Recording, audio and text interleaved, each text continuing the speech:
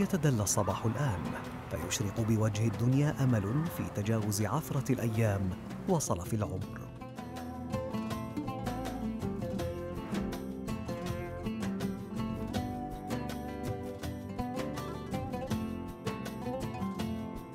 ها هو الحلم يصير حقيقة إذن وبات على هذه العائلة أن تسند ظهرها إليه وتوسع من نشاطها الذي كان يوما ما سجين جدران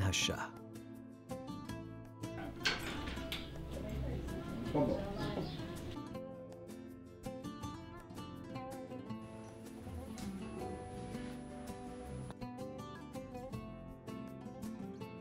بات المخبز الآن واقعا على الأرض وما على تامي إلا أن تفتح مرحلة جديدة لها ولعائلتها مرحلة تصفق لها أفئدة أهالي تريم.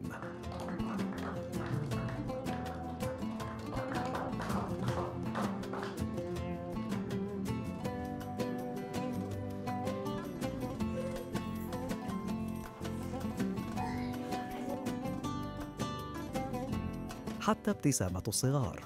لا تمر قبل أن تخفف جفاف القلب.